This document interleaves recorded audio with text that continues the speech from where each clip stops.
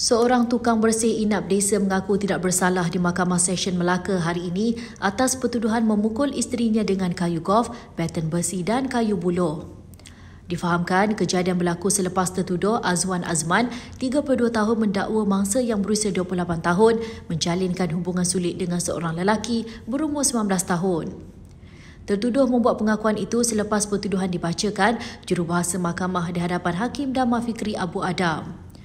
Berdasarkan kertas pertuduhan, tertuduh didakwa dengan sengaja menyebabkan cedera parah terhadap isterinya menggunakan sebatang kayu golf, baton besi dan kayu buluh.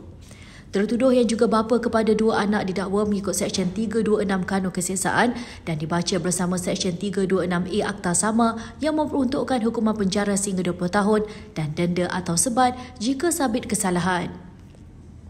Mahkamah kemudian membenarkan ikat jamin RM10,000 berserta syarat tambahan tertuduh perlu melapor diri sekali pada setiap bulan di Balai Polis Berhampiran dan tidak mengganggu mangsa serta saksi pendakwaan sehingga kes selesai.